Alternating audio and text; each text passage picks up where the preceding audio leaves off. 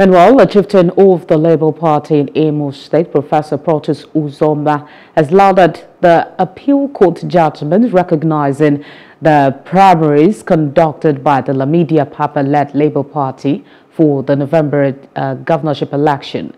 Speaking to newsmen in Owerri, the Imo State capital, shortly after the judgment in Abuja, Professor Uzoma described as an illegal the Labour Party flag bearer in Owerri a few days ago.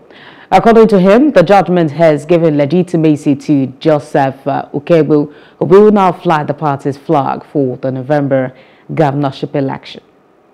The court has reaffirmed that the authentic candidate of Labour Party is, is Joseph Ukebu for Imo governorship election.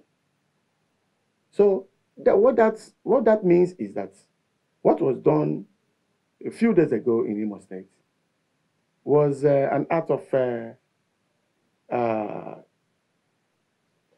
it's a charade. We say charade or illegitimate political rally.